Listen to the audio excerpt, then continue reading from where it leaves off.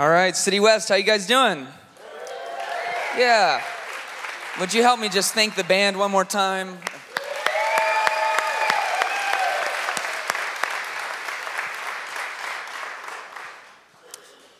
Today we are going to be talking about sex, and uh, you know, I think people get an idea in their mind that they're going to come to church and it's going to be a sex talk and it's going to be a long list of do's and don'ts, and there's nothing wrong with that.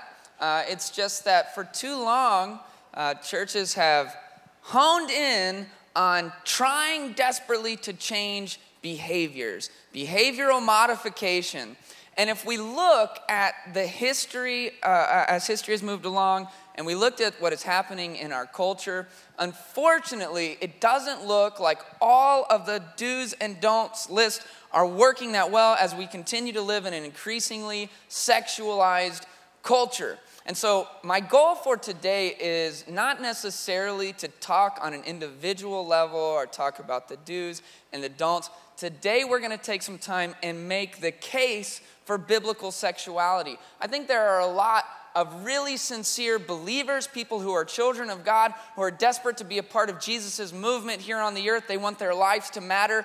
And what you may not realize is that your sexual worldview and your sexual actions are not actually being based off of the foundation of God's word. They're being based off of the current of culture and what everyone else is doing. And so I want to try to make a case today. To be honest, this is a difficult talk for me.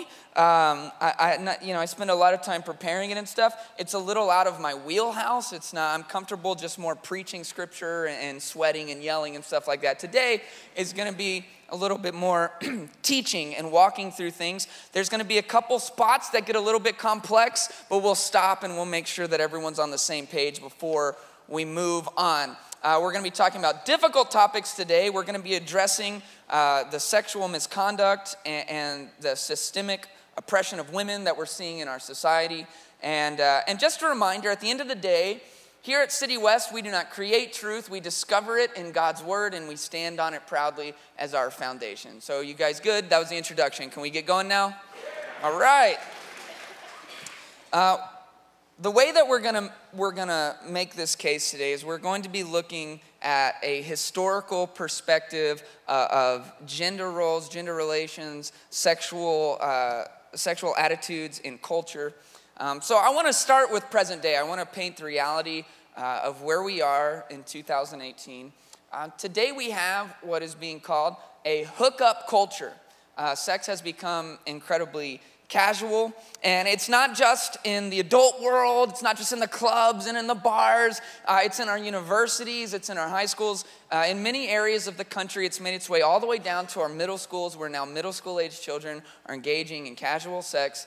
And, uh, and it keeps getting younger and younger. The average age of exposure to hardcore pornography is eight years old your eight year olds are now no longer safe from the, the incredible dangers of hardcore pornography. Uh, there are apps that live in our phones, that live in our pockets, countless apps uh, that allow people to hook up and have sexual encounters with the swipe of a finger. And what you may not know is that there is a, a new genre of apps that are basically direct clones of adult hookup apps, uh, but that are marketed for 12 to 17 year olds.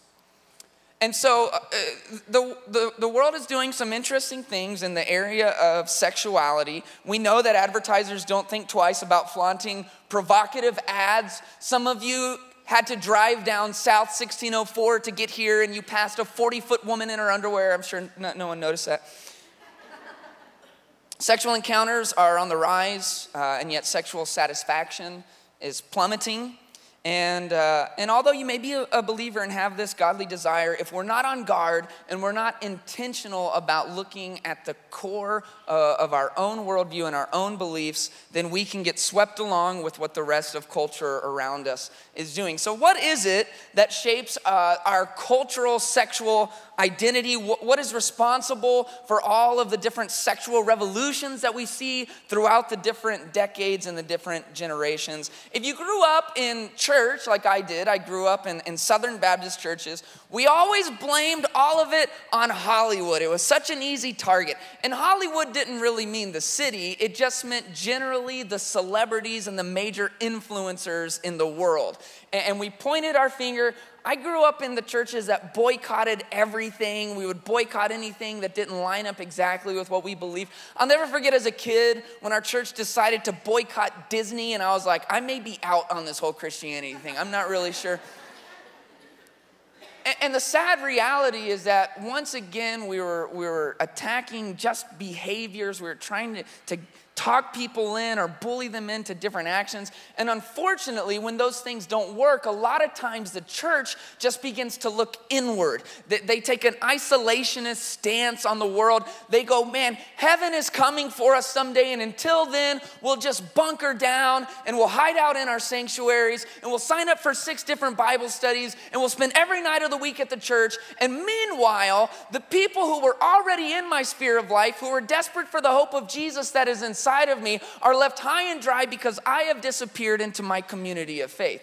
And that is why we talk all the time about being a movement that does meet together, but the reason we meet together is so we can go out and move together powerfully and actually have a voice in the culture. That's not what we're talking about today, but I think it's important. So, pointing the finger at Hollywood, celebrities are poisoning our children's minds, they're ruining our families, they're downgrading our marriages, uh, and at the same time, you know you're gonna go see Black Panther this weekend, so you're kind of caught in a, in, a, in a conundrum there. I wanna go down further and I wanna look at what really creates culture, because if we know what creates it, then we have an opportunity to potentially change it. We're gonna be looking today at the cultural core. And to some of you, this may be a little boring and it is a little bit complex, but just stay with me because it is important. And where we land today, it's going to be important to understand this. If you think of the cultural core uh, like, like you could think of it like an onion, right? Where it has different layers and you can continually peel back these layers. At the outermost layer of our culture is actions. When you see people taking consistent actions, the majority of people acting in the same way. And actions are difficult because it's what we can see, it's tangible, it's what we experience. And so a lot of people mistake actions for culture. They see a majority of people doing the same things and they think that's all that culture is. But that would be like us looking at our front yards and thinking that that's all there is to the earth. When anyone who's made it to third grade science knows that there is layers and layers of soils and dirts and rock all the way to bedrock to the core. There's more to it than just our actions. If you peel back the first layer of our actions, then you find worldview. And worldview is unique to people as individuals based on where they're from and the family they grew up in and the experiences they've had and the traumatic events in their life. All of that shapes our worldview. But there is truth that culture tends to be created on the coasts in the metropolitan areas, the Hollywoods, the Seattles, New York, Washington, D.C., Miami, and permeates across the country and sets the trends that set the culture.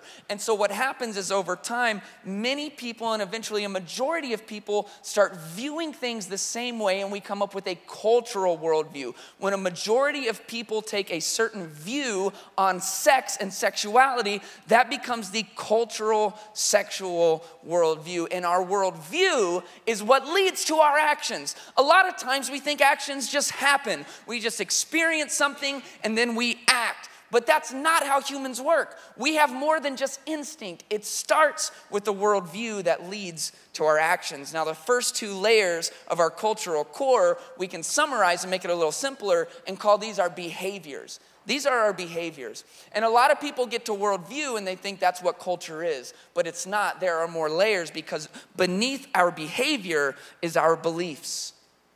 And so, underneath our worldview, specific to the conversation of sex, is anthropology. Not the store where you can buy a $90 t shirt at La Cantera. anthropology is what we believe about humans, what we believe about man and woman and our anthropology, what we believe about us, will inform our worldview that informs our actions. If you believe that humans have a soul and a spirit and are eternal beings, then it will influence your worldview and your actions in a completely different way if you think that humans do not have a soul or a spirit or that we're just a slightly higher evolved animal. And then at the core of our cultural core, the core of the core, is our theology, what we believe about God. And what I want to suggest today is that what we believe about God, if you look through the history of the world, is the ultimate determiner of what your culture looks and acts like. A lot of people would disagree with that, but whether you're here and maybe you're a skeptic or you're agnostic or atheist, or if you're watching online and you're tempted to tune out at this point because it's just gonna be another preacher talking about the Bible and talking about God, we're going to take uh, an unbiased look at history. We're going to be looking at facts. Even when we look at scripture today, we're not going to be looking at it as this highly spiritualized word of God. We're going to be looking at it in its historical context because the key to culture is what you and I believe about God. I want to talk today about the Me Too movement. I want to talk about the Time's Up movement. Is anyone familiar with these movements that are going on? Basically, over the last few years, there have been some shocking revelations. Some of our like childhood heroes, uh, some big time influencers throughout our world who have been uh, accused of incredible sexual misconduct. And, and there were some brave people who got on social media platforms and they started a movement called Me Too. And the point of Me Too was to give a voice to victims of sexual harassment, sexual abuse, sexual misconduct. And it went viral. And all of these victims finally had the courage to stand up for themselves and to speak out.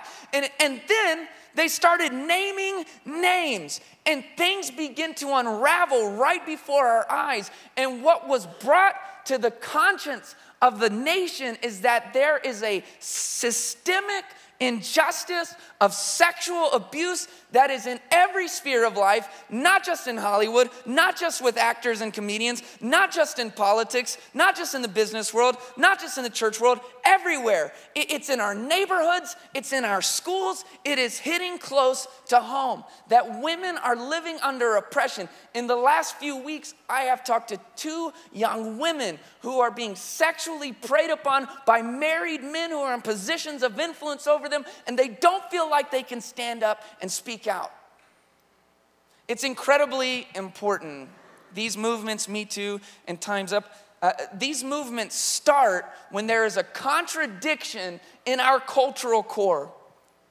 When, when two or more things in the cultural core get off balance from each other, it causes friction, which sparks these movements. And if the movements are corrective to the culture, they turn into revolutions, and we see real change and real reform. We are seeing some of the most devastating things being done to people uh, by, by mostly men in positions of power. We are seeing celebrities who have everything they could already want who are trapping women, exposing themselves, masturbating in front of them.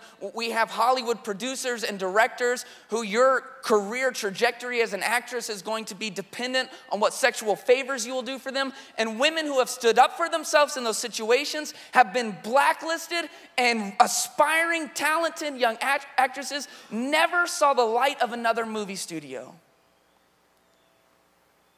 What we're seeing is heartbreaking. It's heartbreaking for the victims.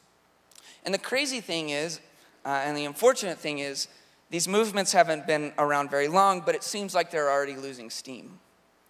And there's several reasons for this. One of it is just that uh, their media life cycle is coming to an end. Uh, the unfortunate reality is that when things uh, stop spiking ratings, they get talked about less and less. Another reason is there have been people who have abused these movements. They've used them as an opportunity to, to lay allegations on men who are innocent, and their names have been dragged through the mud, and, and that kind of uh, lowered the power of the movement in many people's minds. But I, I want to suggest that these movements are, are, are, are petering out because they are not getting down to the cultural core. Most of it is talking about actions, which we now know is the outermost layer. And we need to be discussing the actions, and people need to be called on what they've done. However, if we just focus on the actions, it's gonna be like trying to cure cancer with band aids. We have to go deeper to discover the problem systemically in our culture. Some people in the movement have done that. They've peeled back a layer and they've talked about worldview and they've called for a change of worldview and they think that will change the culture, but they're still just messing with behaviors. To really make change, these movements will have to go deeper than behaviors, they will have to address our beliefs as a society. And so today, what I want us to do is I want us to take a brief trip through history, and, and, I want to see how this idea of cultural core, how this idea of theology, what we believe about God, has shaped culture since the beginning of time. Now, obviously, uh, we don't have time right now to go all the way through the history of the world. I wish we did. Mike, my producer, told me we do not. So we're gonna we're gonna cut it a little bit short, but we do have some incredible moments that dramatically shifted things in history that we can focus on. One of those uh, is when our calendars got split into two sections. Right now, we live in AD 2018. We've had 2018 years of living under the AD calendar. Before that, we were in BC in the history of the world. There's a lot of debate over how long BC was, because not all of it is in recorded history. Some people think 6,000 years, some people think 6 million years. We're not here to have that debate today. What we can say is it was longer than what we have experienced in AD, these 2018 years. And one thing that we can do is we can group all of BC together to talk about gender roles. Because in BC, whether it was 6,000 years or 6 million years, there is no evidence that women were ever, ever seen as equal in the entirety of history, women were never seen as equal. In most places in the world, women were treated as property. They had very little value. Their role in life was to get pregnant and to give their husbands a son. And if they could not give them a son, then they were shamed. Now, this was scalable. Some places in the world, women were treated better than others, but nowhere close to what we call gender equality. And so, what happened?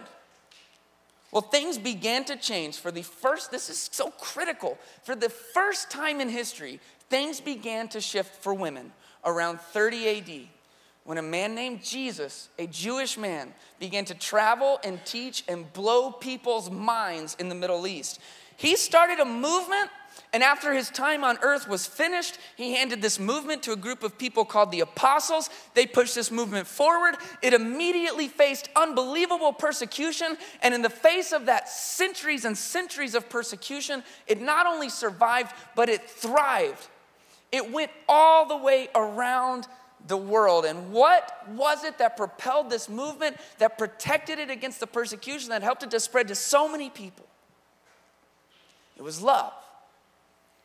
At the very foundation of Jesus' movement is his call to radically, authentically, and without any conditions love the people around you. Later, the apostles who helped spread this movement, they would go, they would start congregations of believers who would gather together, and often they would write them letters. We have a lot of these letters in the New Testament of our Bible. They are the, the books of the New Testament. One of these letters was from the apostle Paul, and he was writing to a group of believers in a town called Ephesus, and we have this in our Bibles as the book of Ephesians. And in Ephesians 5, Paul starts talking about the relationship that this call to love has between men and women. And this is the starting place for us really understanding how we can take a part in correcting the injustice in our culture. And in Ephesians 5:22, Paul says, "Wives, submit to your husbands. Wives, submit to your husbands as to the Lord."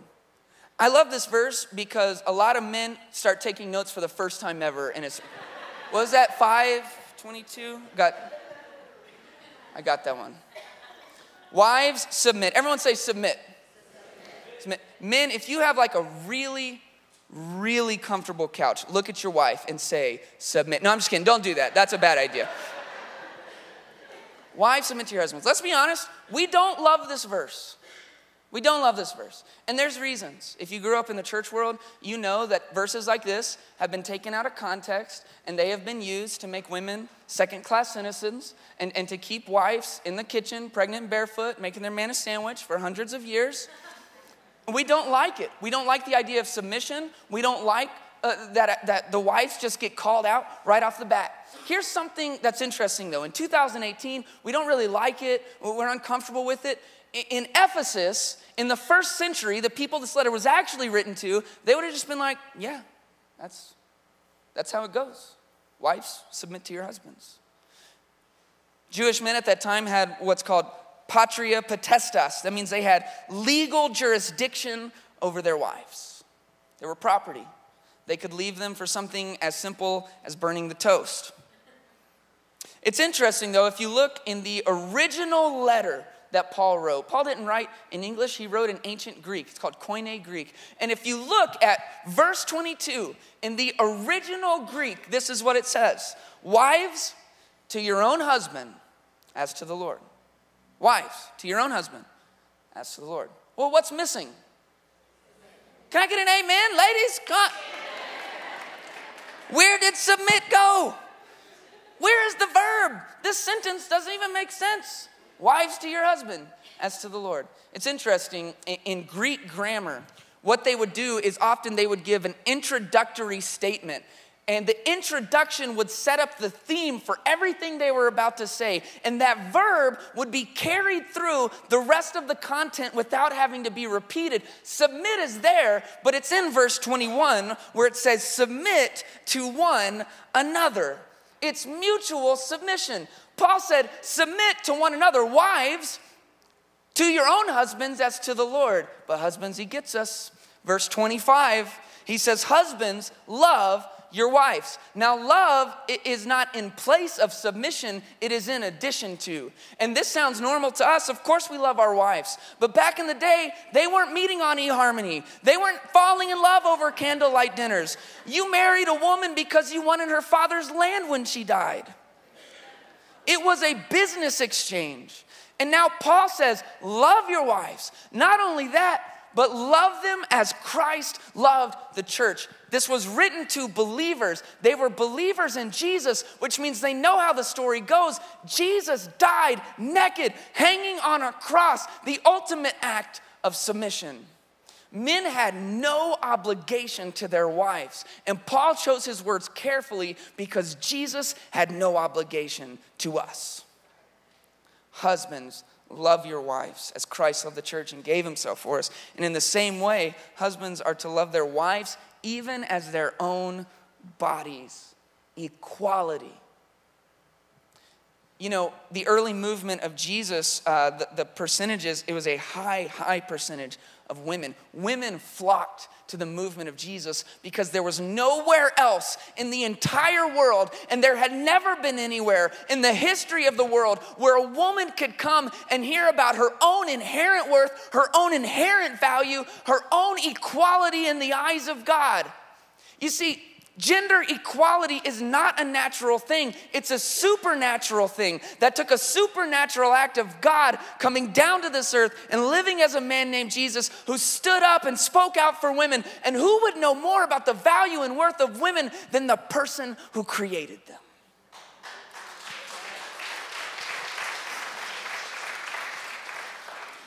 So here's what's important to understand as, as we're talking about culture 2,000 years later, every place you see in the world where women are actually on a path to equality is a place that has been affected by the movement of Jesus. If you look at our cultural core, and, uh, and we go to our next stop on our historical journey, which is the beginning of our society that we're talking about right now that has gotten so far off course with these systemic problems. Uh, our society started in 1776 when we declared our independence as a sovereign nation from Great Britain. And we were not started as a Christian nation. We are not a theocracy. We were set up as a democracy. But if you read the history of the founding of our country, it is undeniable that our culture, which is separate from our political system, our culture was uniquely Christian and uniquely based on the Bible. But we also know in history that there was a laundry list of moral injustices and systemic problems. The same Bible believing founding fathers who wrote the words that we believe all all, all men are created equal, owned thousands of slaves, and saw them as less than human. Women were nowhere near equality. They had to fight for decades upon decades, even just to get the basic right to vote. And so, what happened was we started our country with contradictions in the cultural core. But what we know is that contradictions create friction, and the friction creates the spark to the movements. And if movements move our culture into alignment, they become revolutions, and real change happens. And so at the beginning of our country, we had a theology that said we believe in Jesus and his words and the word of God. And so we read the word of God and we see Jesus on earth constantly pursuing racial reconciliation. Jesus was Jewish and he purposefully made a trip through Samaria where the Samaritans and the Jews were toxically racist against each other. Jews didn't even believe that Samaritans were full human beings, much like when we finally gave African African Americans the right to vote, and they only got three fifths because they wouldn't concede that they were full humans. Something wrong with our anthropology. It's not being informed by the theology, but that contradiction eventually sparked these movements. It sparked emancipation, it sparked Rosa Parks, it sparked MLK, the, the, the sit ins, the bus boycotts, the marches, and these movements became revolutions, and we saw real change. And women were not seen as equal. There was a contradiction between how we were acting and what we said we believe. We believe in a Jesus who constantly stood up for women, but we treat women like second class citizens. And that contradiction created friction, which sparked movements that turned into revolutions, and we got on paths to real change. Progress, progress was made sometimes slowly. There is still a lot of progress to be made, but we came a long way. We now have women leading in almost every aspect of society, a lot of times leading at a much higher capacity than men. In 60 years, we went from segregation to the United States electing the first black president. Real progress. So let me ask you something, and this is a real question. Does it feel like all of a sudden recently things are getting worse? And why is that?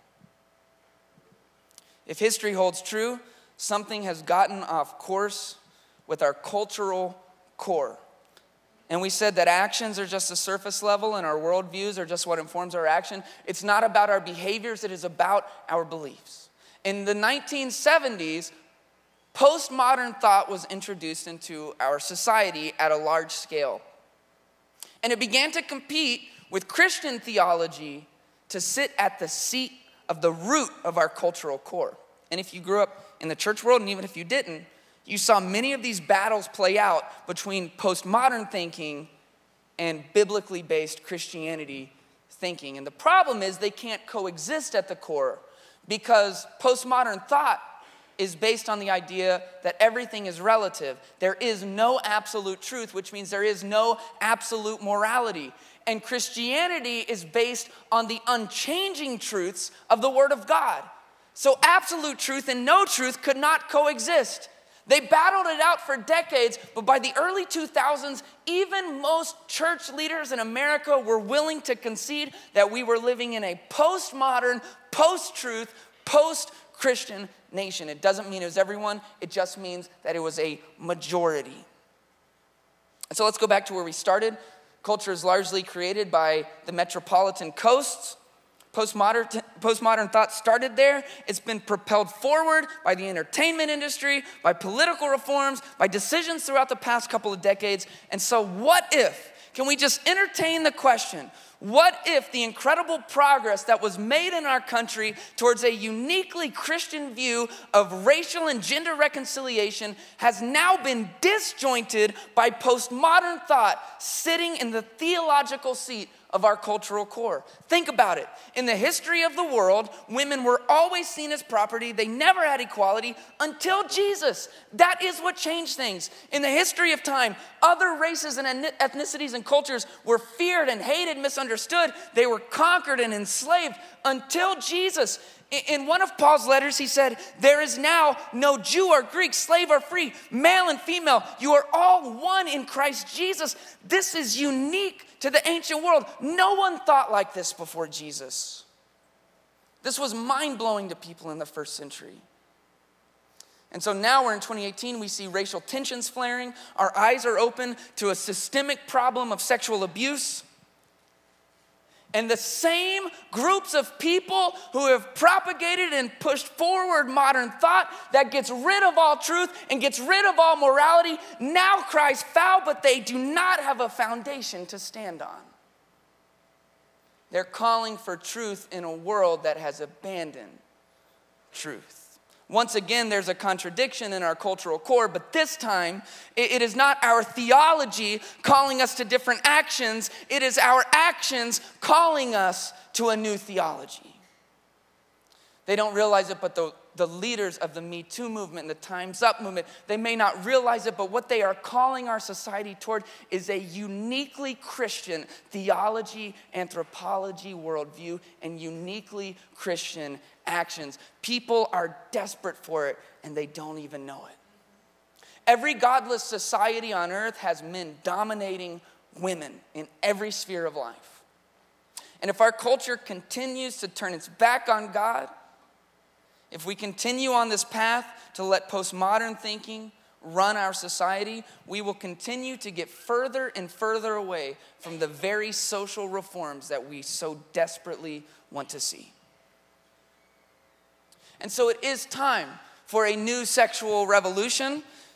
The cultural core is begging for it. This time it isn't a call to uninhibited sexual freedom, to endless sexual partners, to this you can't tell me what to do with my life adolescent thought. It's time for a revolution back to biblically based sexuality, the kind that brought freedom from male domination for thousands upon thousands of years, the kind that protects our marriages, the kind that actually allows for racial reconciliation, the kind that made the progress that we saw but has now been put off track. It's time to consider that maybe the guardrails of biblical sexuality are not there to inhibit your freedom, they are there to protect it. Because right now we are seeing what a departure from that is doing in our culture. I have a daughter, and I am worried that if we can't get below the behaviors down into the beliefs, if we can't build a foundation for these movements to stand on, then things will get a little better for a small amount of time, and then it'll disappear from the media in our minds, and it will continue to get worse.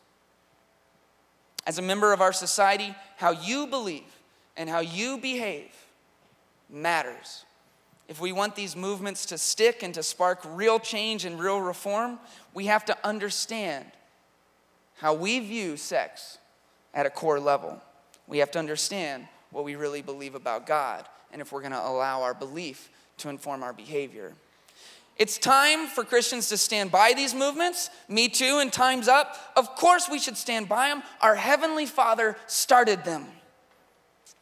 Jesus spoke the foundation for them into existence.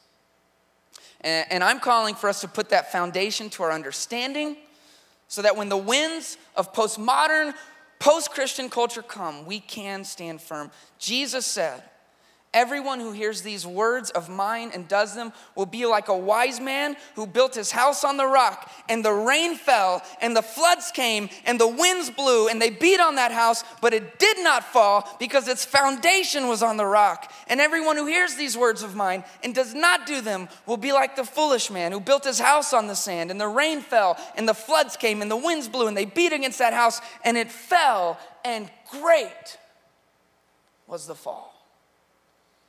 The storm is upon us, and the house is crumbling because we have removed the foundation. And it is time for believers to come out of hiding. It is time for us to take our unique pilgrim's perspective and start being a part of the conversation, start addressing the injustices, quit hiding away and just waiting for our future life with Jesus, but live in a way that brings the will of God down to earth right now.